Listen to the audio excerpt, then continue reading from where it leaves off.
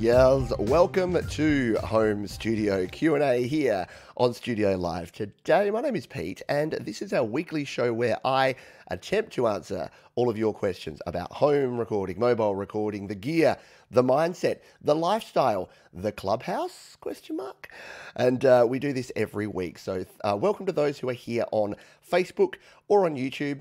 Uh, if you aren't joining us live, we do this every week, and it's a Sunday morning for me, Saturday afternoon, 12 p.m. Uh, Pacific, 3 p.m. Eastern, and 8 p.m. Greenwich Mean Time every single Saturday. So if you want to join us live, you can do that. If you're watching on the replay, don't worry, we love you just as much. And if you do have any questions, you can actually put them in through the week. You don't have to wait for the form. You can don't have to wait for the show. You can drop them in the form, and that's at studiolivetoday.com slash QA. And uh, you can find that uh, just like uh, Patrick has done here. And Patrick has, thank you very much, Patrick, has also uh, added a super chat here. So I appreciate that. We're already uh, a minute into the show, and uh, that's excellent support. Patrick has a question that they've put in the form. We will be getting to those in a moment. Now, I normally have a feature topic at the front of the show here, and I kind of was was thinking about this. I'm like, I don't actually really have a feature topic, except to say that we would talk about the Q and A show and the Q and A format. So I guess instead of a feature topic this week, what I would like to do is invite you to provide me with feedback and to let me know what you want this show to be. So we are at episode 65 of Home Studio Q&A. We've been doing it for over a year now, and uh, it has grown and developed and morphed and changed. But we've, we've introduced the form where you can actually add your questions now as opposed to putting in the chat there. And the timing of this, we usually run for about 45 minutes. So what I kind of want to know is, uh, is this the right format? Do you like the Q&A format? Do you like the opportunity to ask questions? And do you have any recommendations, ideas, suggestions? Because it is you uh, that is in control here. Uh, and if you've got uh, ideas about how we can change and improve the show, then go ahead and do that. We did try something new today uh, for those that were, were live beforehand, we did a pre show over on Clubhouse. So let me know also if you have been checking out the Clubhouse app. It is a. I, I worry that this is going to date date this episode because you'll probably go back in a year's time and go, oh yeah, remember when everyone was really hyped about Clubhouse?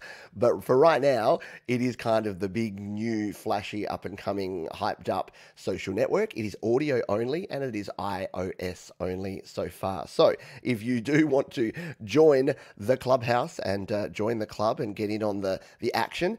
Uh, then yeah, do do uh, consider that because we did uh, something today which was a lot of fun where we had folks that could actually come in live before the show and actually uh, ask some questions and and give some feedback and have a chat beforehand. So we did a little warm up pre-show and then we jumped into the video show here. So that was a lot of fun, and uh, I will continue to do more things like that myself and and my fellow creator and friend Jade Star. we are going to put it to the test because why not? Why not actually try these things when they put them out there? Uh, why not actually give them a go and see how it goes? So if you do want to uh, join us, then uh, do consider that. Alrighty, let's jump straight into some questions then, shall we? Because uh, I'll check the form here and we'll start answering. I, I, usually get to this point and I've only got three questions, and I'm like, oh, cool, I'll, I'll answer these and, and, go into some detail. And by the time I get to the end of the third question, we have like five more questions. So why don't we jump in and get started so that we can get to these questions?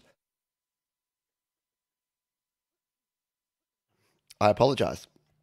That was really uh, that was really bad. When you get a frog in your throat, just as you're talking, I'm like, I could hear it coming. I could feel it coming.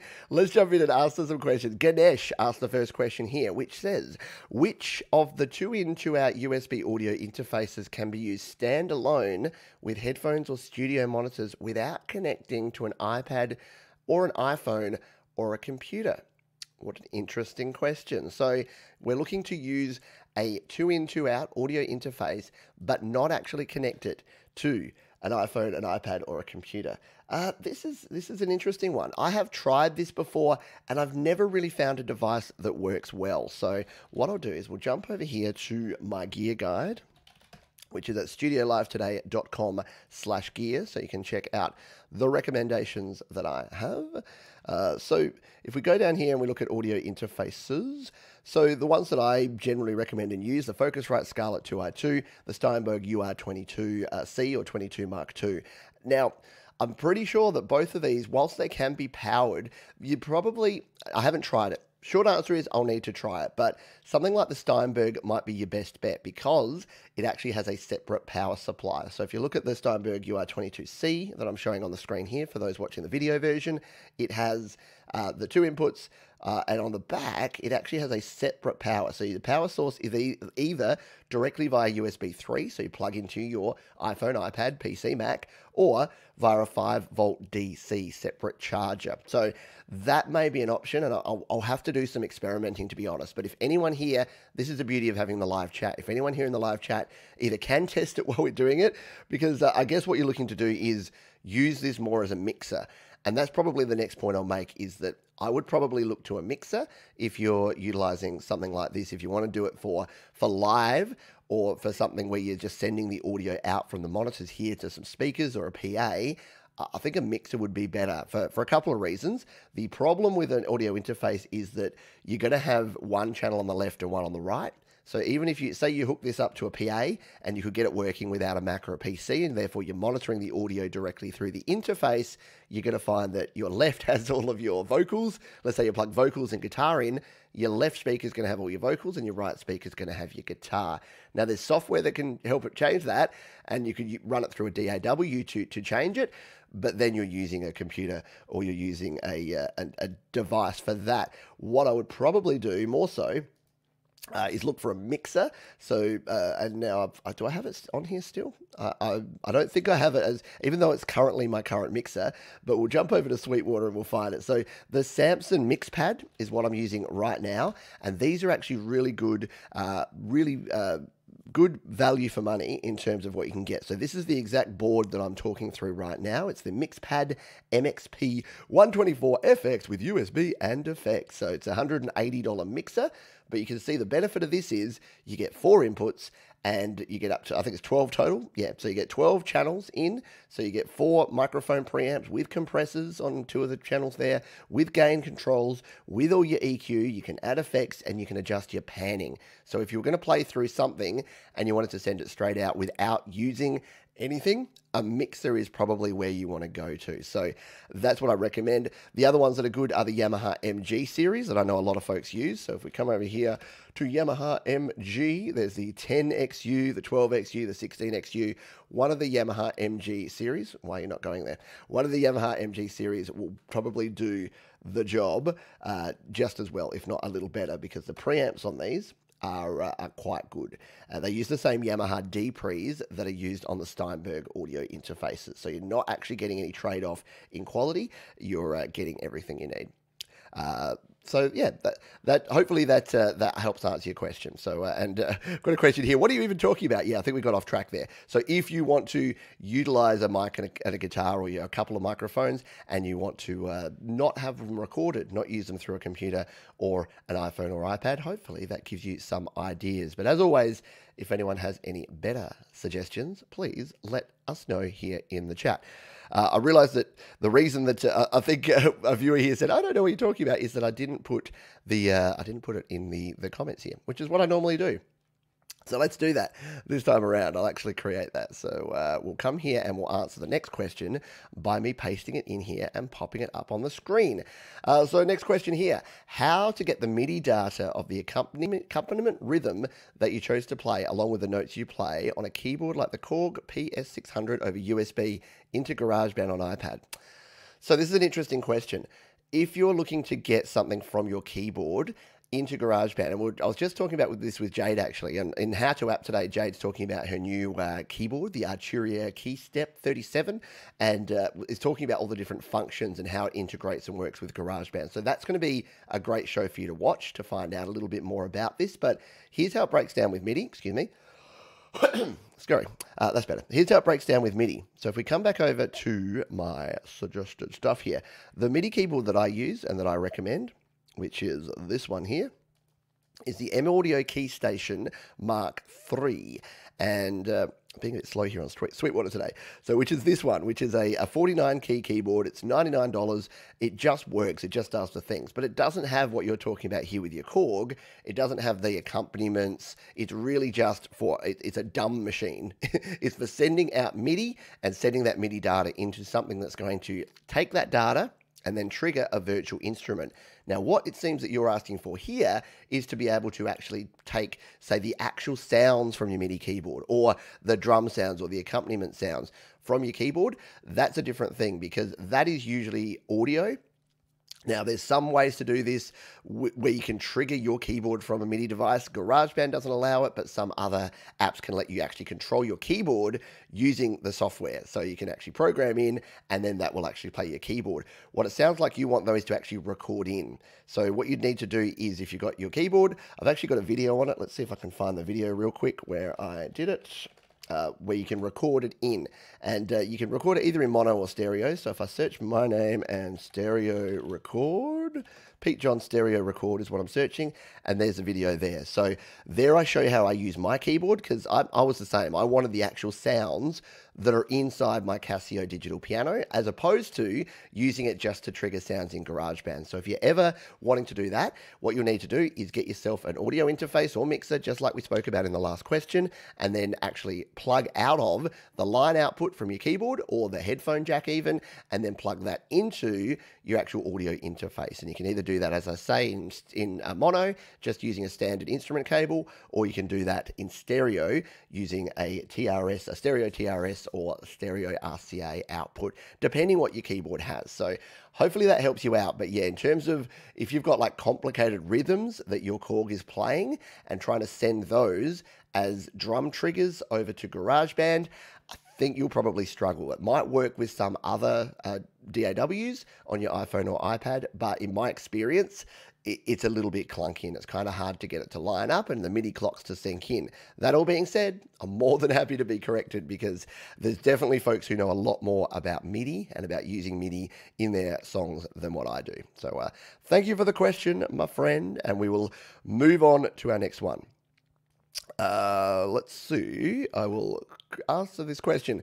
Actually, I won't put it in there because the question from Grant is, uh, what email do I? Oh, so what email do I use to send on a SoundCloud link to your review on your YouTube channel? Ah, okay. so this is a question about. I will add it in here just so that you know what I'm talking about. If you if you drop into the channel and you're watching halfway through, the question is, what email do I use to send a SoundCloud link to review on your YouTube channel? So for those who aren't aware, if you're, you're here for the first time or you don't watch uh, some of the other shows, we do a show every week, every every Saturday morning here, but it's every Friday afternoon at this exact same time. So Friday at 12 p.m. Pacific, 3 p.m. Eastern, 8 p.m. Greenwich Mean Time, and uh, that is called Your Music Live. And if you do have a song that you want to submit, all you need to do is actually jump over. In fact, I can show you. We're, we're, a visual medium here, and I know for those listening on the podcast, I apologize that you're not going to be able to see this. But if we jump on over to this, you can see that we go to studiolivetoday.com slash YML. If you put that in, you'll jump straight into this form. And all you need to do is drop in your name, your email address, your link to your song, your SoundCloud or YouTube or Slaps or wherever you've got it, and then one or two sentences about your song. And that's the important thing because if you've watched the show, what we do is we play songs by independent artists. It's a it's a good time. It's a two hour show. It's basically like a party. It's my, one of my favorite times of the week. But we, we grab the song that's been played, we put it up on the screen, so YouTube video or a SoundCloud link, and uh, and then we play one or two minutes of it. And then uh, the, the folks in the chat get to have a listen. And uh, yeah, if there's any feedback or comments they have, they'll drop that in. And then uh, we put all of those together in the description, all of those links uh, of about the 50 or 60 songs we played. And then folks can go back and check those out after the show. So if anyone has any songs that they want to get uh, played on the show, uh, please do submit them using that form, studiolivetoday.com slash YML. That stands for Your Music Live. And do join us because we have a heck of a lot of fun on Your Music Live. Just going to have a wee drink. Little coffee time. Uh, uh, so thank you. No, thank you. Thanks for answering. Thanks for asking it. And as Russ says uh, here, YML is a fantastic time, and Alex is a fan. Al- Alex had a, a very cool, um, very cool uh, song that we played this week on Your Music Live. Who's here in the chat? Let's continue on.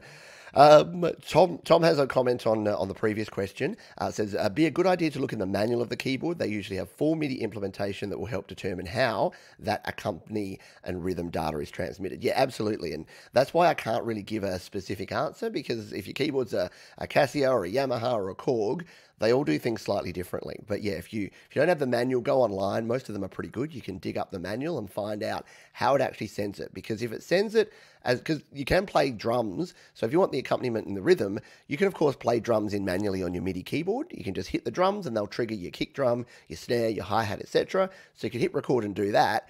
If you can hit record and press something on your keyboard that will then play and send an accompaniment rhythm as MIDI over to GarageBand, then yes, that would work. So yeah, good point from Tom there. Uh, give it a go and uh, and see how it turns out for you. Uh, let's go to our next question. Once again, if you do have questions, uh, just need to go to studiolivetoday.com slash QA and uh, we will answer any of the questions that you have there. Even if it's will the New York Rangers make the playoffs or who will win the Super Bowl, uh, I uh, know is the first answer, and whatever team Tom Brady is not playing for is the second answer. There you go. I've just offended probably half of the people here, but that's okay. I know nothing about football, uh, not the American style anyway.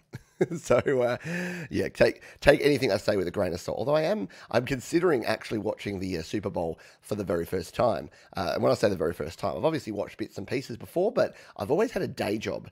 This is the first year where I don't actually have a Monday because Monday morning here in Australia. Uh, so it's the first time that I don't actually have a day job to do, which is uh, which is very cool. Uh, I might actually watch the game. Alrighty, uh, let's uh, let's uh, grab a question here from Kev Hart. It's it's it's got too many characters for me to put it in the banner here, so we'll just talk it through. Uh, so Kev says, with my ongoing addiction to creating huge drum steaks, drum steaks that's a different thing. Drumscapes. Jade and I were talking, and she mentioned uh, about merging the individual tracks. I know this will save any FX on there, but wondered will it also save the EQ? Maybe a daft question, but thought I would check before I started making a mess of things. Yes, yes, and yes. So uh, this is probably one that's easier for me to actually demonstrate. So let me grab, let me grab my iPad and see. I did set up before the show, but now, yeah, we're not we're not really well set up. So I'm just going to plug in and grab grab the iPad, and we'll have a little bit of a play with this, shall we? I'll just wait for the audio to kick in here, and uh, there it is. So now we'll jump over We'll jump over and bring up my iPad on the screen here. So the short answer is yes, Kev. Uh, if you don't want, if you just want to go and get back to work, uh, the short answer is yes. So if you're not familiar with what we're talking about here, uh, when you are actually merging down tracks, what it does is it takes the audio of one, two, or more tracks and merges them together. At the same time, it will actually merge the effects that are on those tracks. So if, for instance, I had these two vocal tra- takes here. So we've got one vocal take on, on one track. We'll just uh, we'll solo these. So we've got one vocal, vocal take there, one vocal take there. We could merge these two together onto one track. So I'm assuming with your drums, you might have a couple of different drum sounds on two different tracks and you want to merge them. Everything that you actually add here in the plugins and EQ section gets merged as well. So if you if you think about it's like freezing a track or like um, exporting a track, rendering a track. Um, there's other words for it, but merging is what GarageBand calls it. So for instance, if I wanted to, uh, now these vocals are pretty bad, so um, please please bear with me. But if I want to merge the original track here with the vocals, the these uh, rough vocals that I've been doing here, uh, we'll just play this and make sure we've got the audio coming through. We'll rise together. We will rise together. So yeah, if we're if we're merging these tracks, you'll hear that on this one, it's already got uh, it's got a little bit of overdrive and echo and compression and reverb on there. If we did EQ this, so let's say we wanted to really take off the low end of the the vocals there, uh, once we actually merge this, it will merge in those settings. So it's important to keep in mind because when you merge it, it will put all of these settings on that. The other way to do it. Uh, so let's just show what we do. So if we say grab this track and we tap it and we go merge, uh, we've already got all those effects on there. We're going to merge it. Uh, yep, we'll just merge that one track, but it would be the same if we merged multiple tracks. Or just to show you how it works, let's merge multiple tracks. We merge them together. It's going to render out both of these tracks onto one separate stereo track. And that separate stereo track won't have any effects, any EQ, anything on there. So here it is. This is what it's put together. And if we come here, this will actually have... We will rise together. So you can hear it's still got that delay and that reverb and that EQ cut that we did there. But when we come in here, that's all been baked in. So now it doesn't have it here. So if we went in and we re-added a bunch more of this, you'd kind of be double processing with your EQ, with your reverb, with your delay. So the other way that folks often do with this, if we just exit out of there, uh, it, it, always creates a copy of this stuff when you do merging, which is handy thing because it means you don't break anything if you do the wrong thing. So the other way to do it would be before you merge, come in here, turn everything off. So turn off all of your different effects by tapping the blue button, turn off your EQ, merge it as a dry audio file, and then make a duplicate copy. So what, what I would do is I'd make a duplicate copy of this with just the settings. So all the settings I want, I'd come back to here, I'd turn all of these off, and then I'd merge the dry sound, put that onto this track, and then I can add back in all of the same stuff that I had. That just means that if you want to tweak it afterwards, you're not baking in all of those settings. Does that make sense? So yeah, if you're merging, two ways to go. If you're committing to it, leave all your stuff on there, merge it, mix it down, render it, but then you can't change it because then it's all baked in. If you don't want it baked in, you want the ability to change it afterwards, take all that off, merge, export, render out the dry signal, put it back on the track, add your plugins back on. Hopefully that helps you and anyone else who's uh, playing with that. Because yeah, even with 32 tracks, and I, I was watching Jack because Jade's producing uh, one of Kev's songs at the moment, and even with 32 tracks, uh, you can quickly run out of tracks to actually do that. Uh, uh, quest, question uh, that Lady Rodaline has related to that. Do I ever lower the top end? Yeah, I do, but more so on something like a bass guitar or a kick drum or something like that, that maybe it's got some high frequencies or some resonance coming through that I don't want on there. So if you've got like a really, let's, uh, I'll show you. We'll, we'll do a quick demo just because EQ is uh, something that, that is, is kind of tricky to, to work out sometimes. So if I grab a drum track, in fact, what we'll do, we'll use the we'll use the beat sequencer. Let me bring this up over here. So let's say we wanted a beat sequencer track. We wanted a really simple one that is literally just a four on the floor kick drum beat. We don't want an 808. We want something like like the minimalist. So yeah, there's our minimalist uh, track. So let's just um, come out here to the track view. We'll just solo just this track, so we're just hearing the kick drum, and we'll go back to beat sequencer. We'll hit the record button, or actually we'll turn it on, and we'll hit the record button, and this will just So there's a there's our kick drum recorded. We'll come back out to here. There we go. that would probably suit this song this song anyway. Um, oh, I've got my I've got the time ruler on here. I was wondering. I'm like, why can't I see that? All right, go back to go back to bars. Uh, we'll loop this out just so that we can keep hearing it. So we've got this kick drum beat that's just doing this. So what you'd probably want to, to do with EQ on something like this is come into your visual EQ and if we turn up the treble to start with, here, how you're getting more of that clicky kind of sound. So let's say you wanted a real sub bass kind of sound on that kick. What you'd do is you'd roll off the top. And then hear how it's just sitting underneath. And the further you go down, it comes like that heartbeat kind of thing. So yeah, if you're finding you're getting too much click in your kick and your bass drum, then uh, yeah, you can absolutely do the same thing because obviously you may not want it to sound like that. And if you if your kick drum sounding like that, come and roll that off. Uh, yeah, and the opposite, as, as we said before, like a kick drum, you wouldn't want to remove all this stuff because if you remove everything below the 200, take a listen to that. then you get just that click. But that's something that can actually work for some types of music.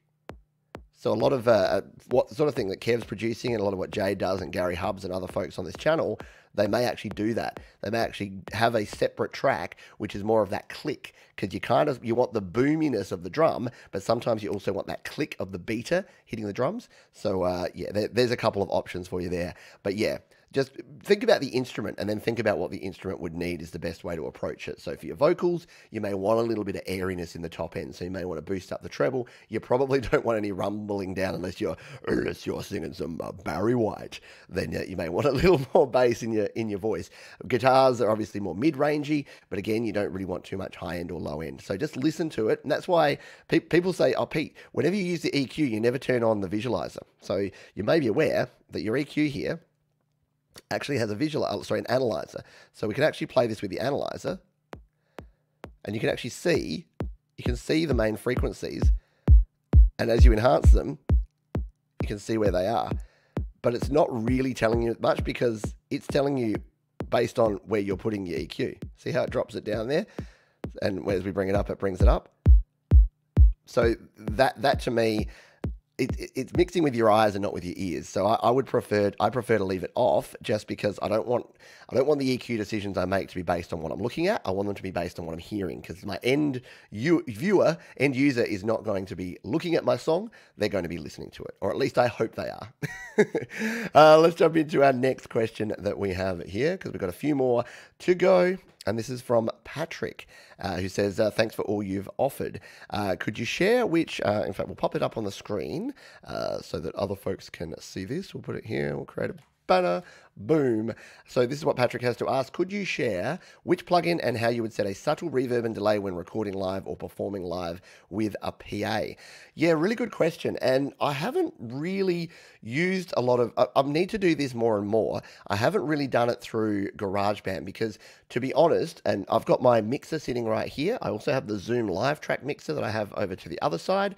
There's, um, I, I don't tend to use, well, sorry, I've got things clipping here. I don't tend to use um, the software to actually play through. I'll tend to use the reverb and delay and just set it on my mixer. So for instance, the, the board that I'm using over here has built-in effects and I'm using one of the small room reverb sounds so that when I play, so later today when I do my happy hour show, I'm using exactly the same setup, but I just turn the one dial and suddenly I have this. So if I'm singing, oh, you have that sound. So I can actually dial in a, a, variation of delay or reverb or whatever I want just to be subtle. And because it's on a one dial, we can make it like this when we need to go, doctor's orders, or we could actually bring it down a little bit when we want just a little bit of room sound to add the reverb. So that's probably the simplest way is to get a mixer. So the Yamaha MG, all the stuff I was talking about before, the Samson, the Yamaha MG series, they all do a good job. If you do want to use software, so let's say you're plugging in through GarageBand and you want to do it,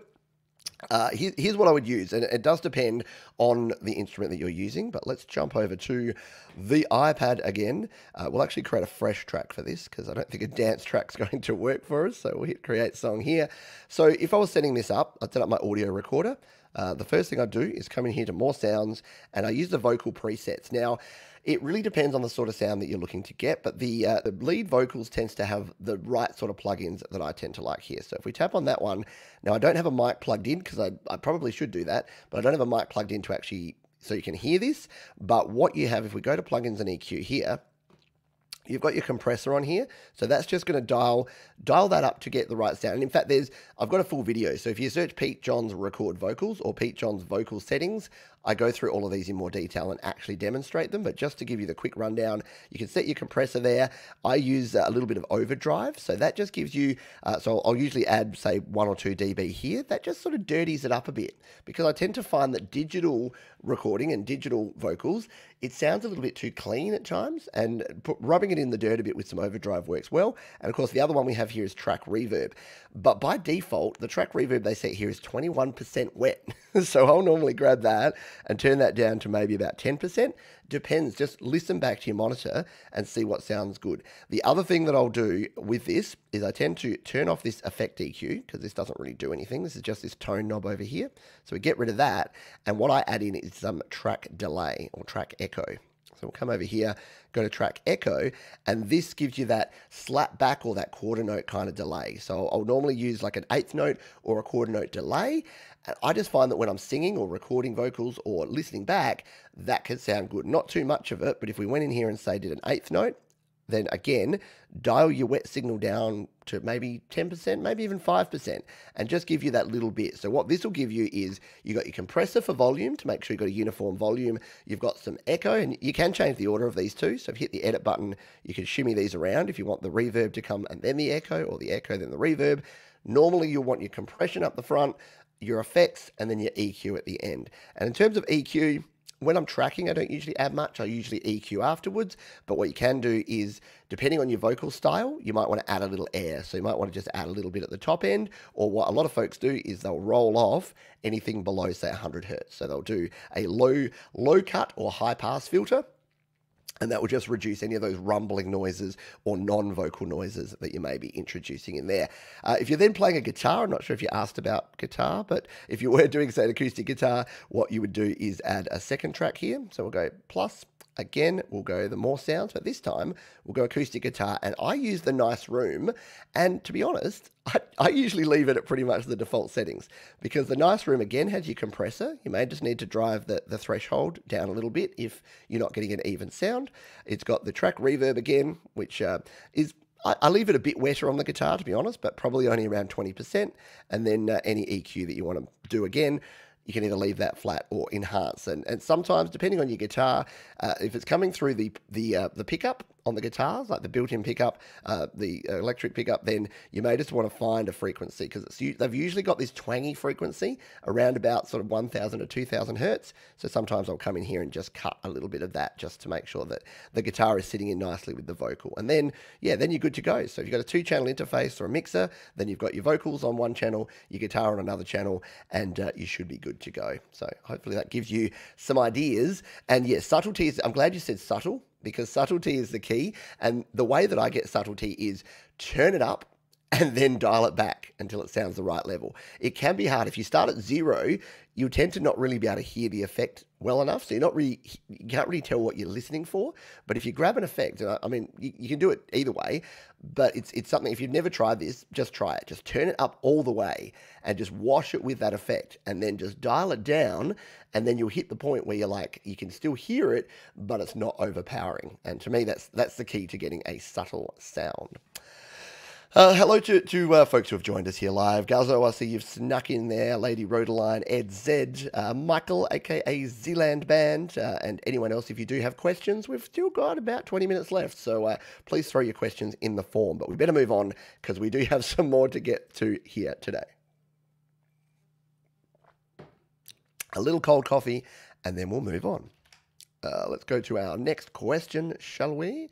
And this one uh, is uh, from our friend John Elam. Hello, John. It says, uh, How do I send tracks or projects to my songwriter friends who have Logic or Cubase? Right.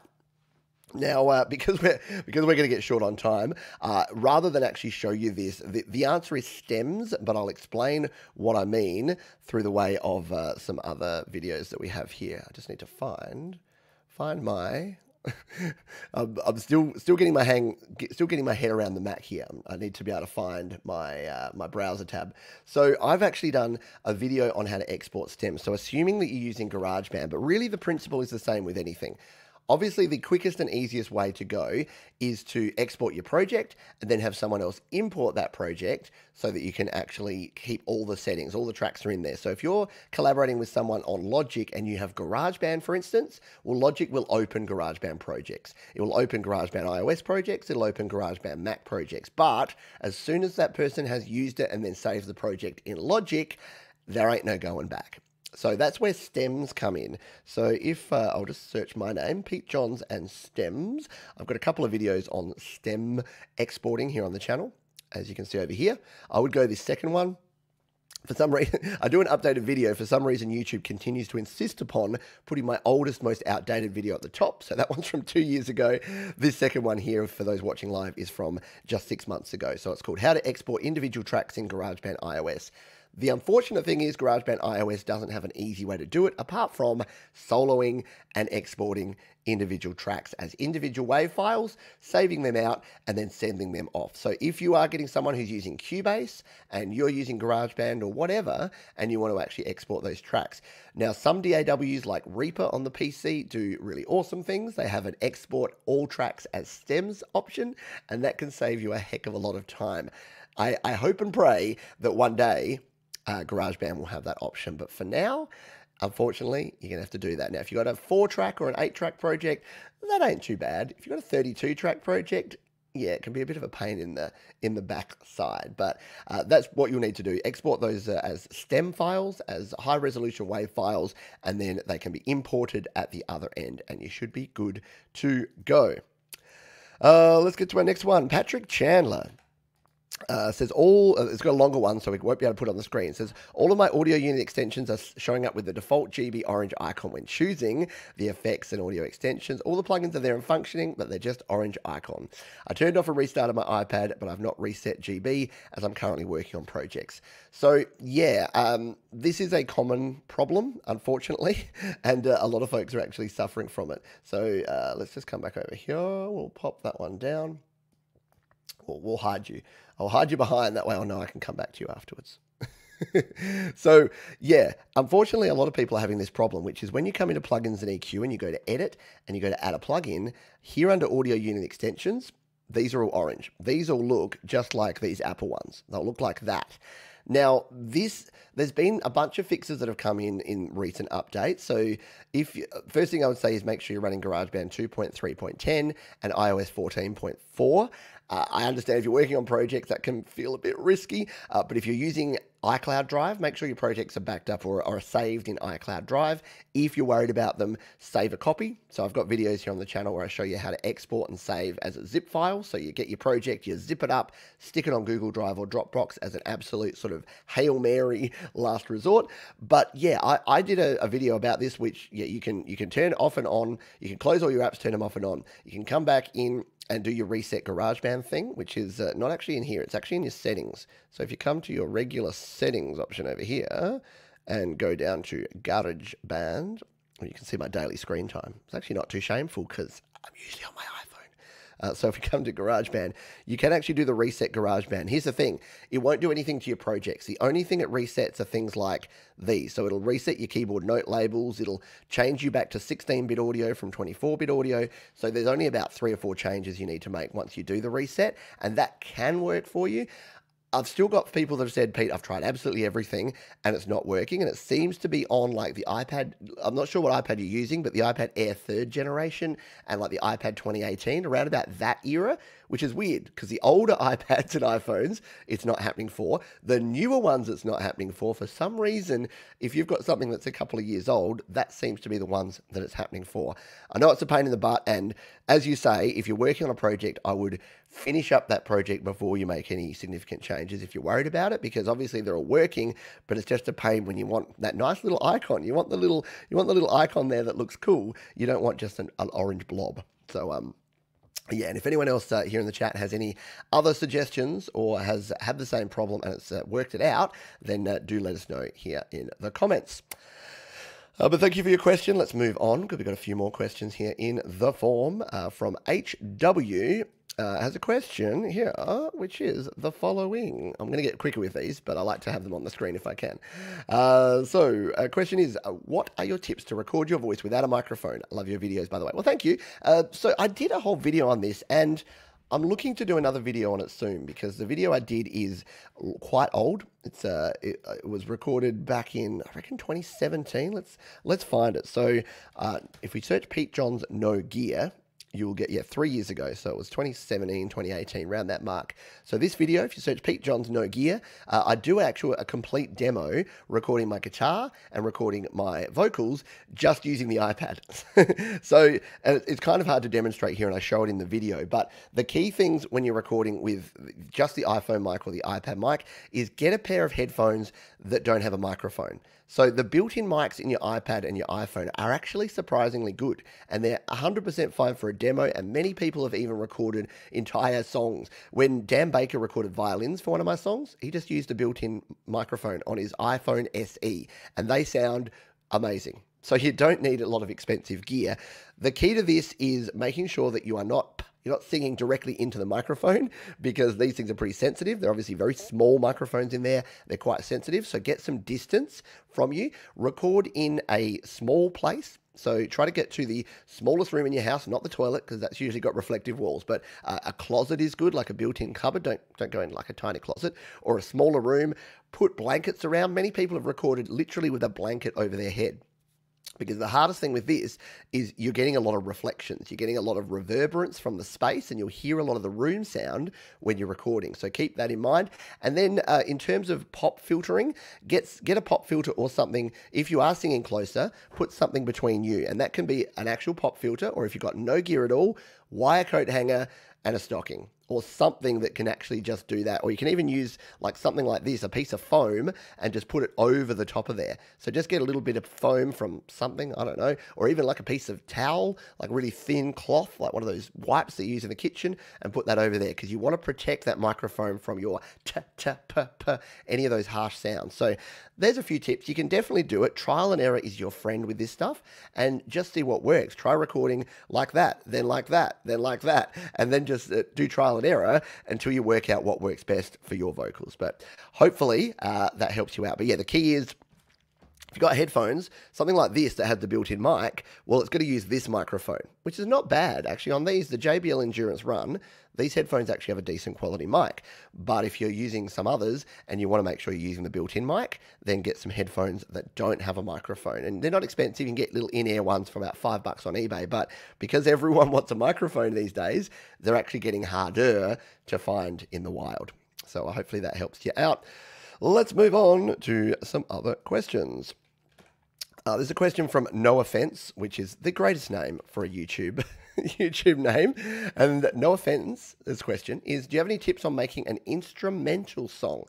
Yeah, uh, I haven't made instrumental songs for a long time, but I'm actually about to uh, re explore to get back into more instrumental music. But in the past, I have indeed made quite a few instrumental songs. Uh, loops can be your friend with instrumental songs. So if we come over here again to my videos, if you search my name and loops, learning how to use, because there's in GarageBand, there's five different types of loops, and pretty much every DAW has some sort of loops in there don't be afraid to use those loops. Sometimes, even if it's just to give you inspiration, I've actually done songs before where I've used a drum loop, I've built a song around it, and then I've got rid of the drum loop. So the drum loop has just given me the groove and the feel, and then I build a song around that. Or you may want to keep them in there. So that's that's something to do. Uh, I think I did one where I showed how I just made a beat, like a five minute beat. Uh, yeah, this one here, how to create a GarageBand beat in five minutes. So if you search out that one, just so Pete Johns beat, and then uh, yeah, GarageBand beat in five minutes, and, and that was a fun time. That just showed that sometimes just giving yourself a time window and just creating that, creating an eight bar loop. The other thing I would say is uh, Joey Helpish, even though not Joey's stuff isn't um, just instrumental, he does a lot of really, he, he shows you the process of how to bring all this stuff together, how to grab a loop, how to grab a virtual instrument that you're playing in, and how to do it in blocks. He's, he's much better at doing that, um, that sequencing and arranging and doing things in chunks and blocks, which is what can work really well for your instrumental songs. So definitely go and check out Joey. Joey's channel, Joey Helpish. He's the only Joey Helpish in town, and uh, that should give you some good ideas. But uh, good questions, and uh, yeah, hopefully we'll re explore that in some future videos here on the channel because I've I've got this uh, idea that I want to create a second artist name called Righty Doki, and I'm going to produce some uh, some lo-fi or some chill beats and laid back tunes and instrumentals because it's it's a lot of fun. And when you don't have to worry about the words you're writing or singing or even recording live instruments, and you can do it all right there on your iPhone or iPad or Mac or PC, it can be a heck of a lot of fun. Let's uh, continue on to our next question. This comes from Critter Jason. Uh, said, "What what instruments are acceptable above 0 dB in the mix? So this is an interesting question that I could probably spend a couple of hours on, but I'll give the quick answer here. So it really depends a lot of folks say you know nothing can ever clip. If you ever see any orange or red on your tracks then something's wrong and you need to fix it. That's true except for the fact that when you've got so let's bring my ipad back up here. When you've got a track here that's a virtual instrument track it actually doesn't really matter. And i say that but then i say still take care with it. Because if we grab this track and we say we put a in fact we'll do use a loop because um, we were talking loops before. Whoops i've gone out of there go back in. Oh, where are we? My song. Uh, it disappeared because I hadn't recorded anything into it. so we're coming into the audio recorder. We'll go up to here, and say I was bringing in uh, a loop like uh, what's something cool. I do like the uh, the eighties. There you go. Bring that one in. So we're playing this. You'll see here. That's looking good, yeah. If we turn it all the way up here it's a bad example because it's not actually going to hit on there. Let's try and find a more full-on loop that's actually going to give us a big sort of sound. This one with a bit of a kick drum might be good. So if we bring this one in here, yeah, there we go. That's actually a cool beat. There you go. I might make something with that later. So you can see there that both of these now are hitting that red. So you're getting those red dots there.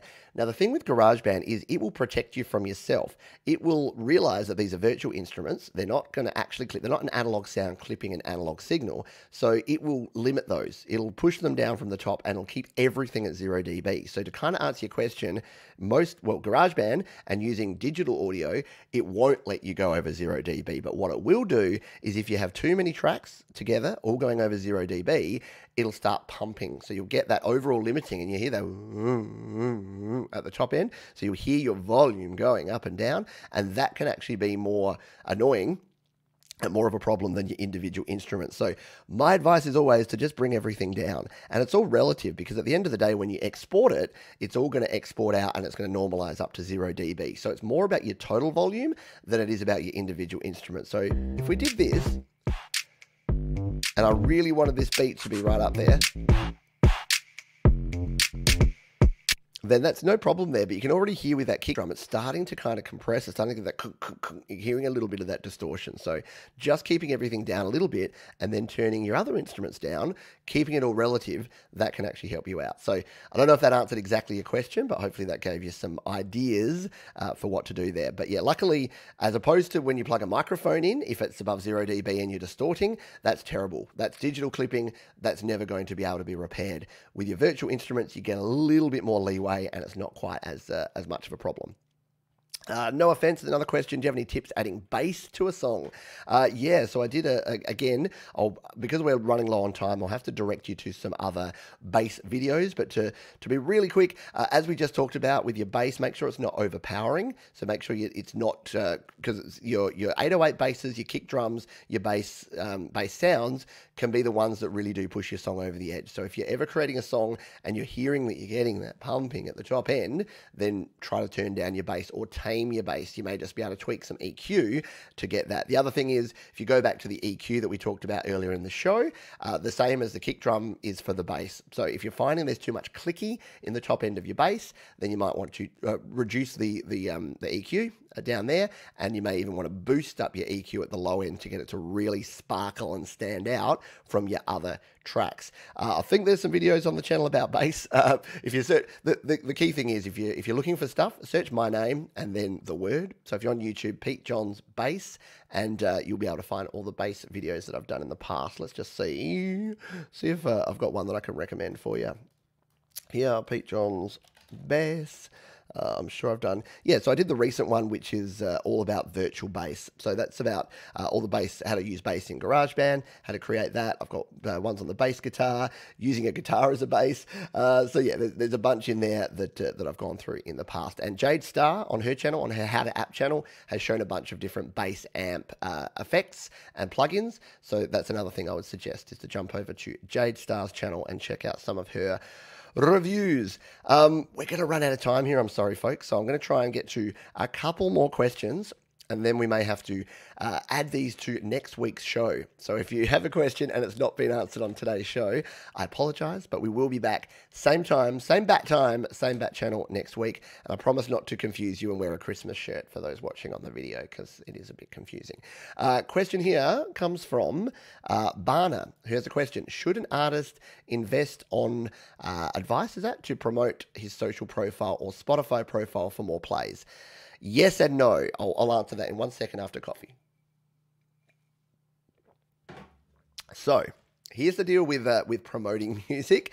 Number one, I am not a music promotion professional, so everything I say must be taken with a grain or perhaps shaker of salt. Number two, yes, if getting advice is a good thing.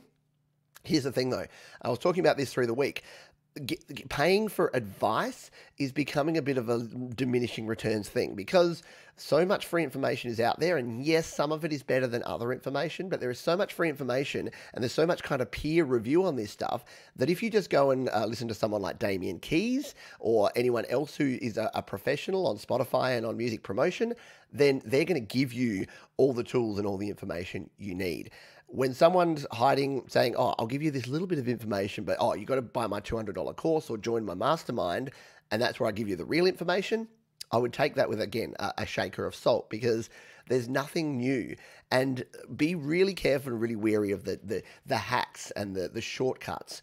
Because yes there are best practices. There are things you can do. You can submit to playlists. You can promote on social media. You can use things like instagram and facebook ads to promote your music. You can get it on tiktok there's a bunch of different ways but be super careful for this reason. Just recently a lot of independent artists got pinged and got their songs removed because of what they call repeat streams or, or illegal streams.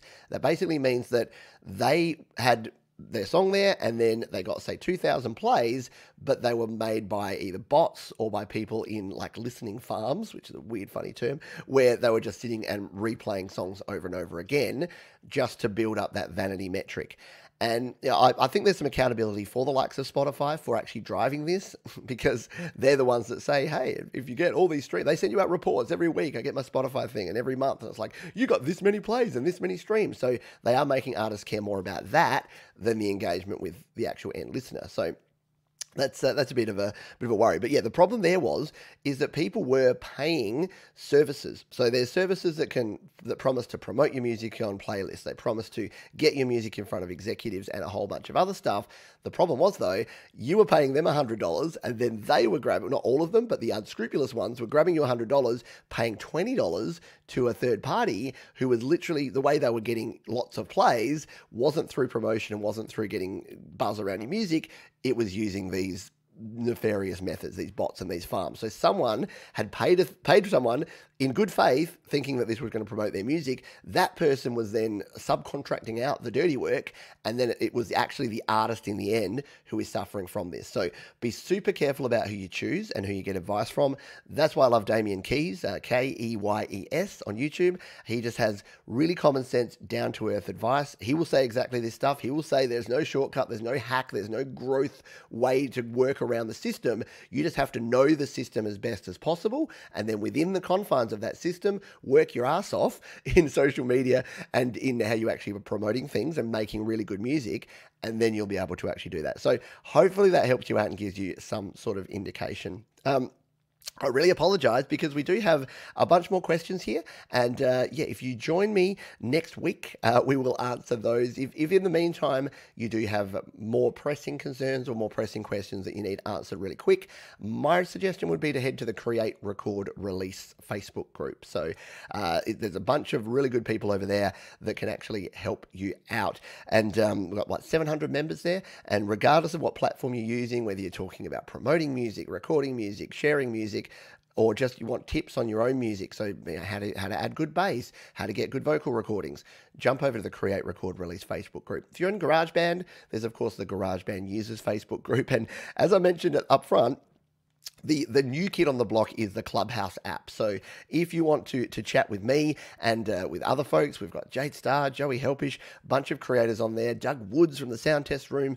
uh, Patrick uh, from GarageBand Guide has just joined up. So if you want to get a little bit more direct access and ask these sort of questions to some of those folks who have been in there in the trenches recording in the home studio for a long, long time, then that is something that you can do as well. And uh, if you're over on the Facebook group, there's a few of us that still have a few invites to that. So do come over and have a chat that is going to do it here for today. Uh, as I mentioned up front, I think she's got it there. Yep, there's Jade. Uh, Jade has her how to app showing off the Arturia KeyStep 37 MIDI keyboard. That's happening in like 30 seconds time. So if you want to check out that cool piece of kit, you can do that. If you want to check out my latest video, it's about the things you can't really see behind me, the Presonus Eris monitor speakers. Check that video out. And if you're watching here live, join me for the happy hour in three hours time. We'll be playing some tunes and it'll be your requests yet again. So that should be a lot of fun. Until next time, folks, as we always say, please be kind to yourselves, be kind to others, keep creating, and rock on. I'll catch you probably on the clubhouse. Take care, folks. Bye for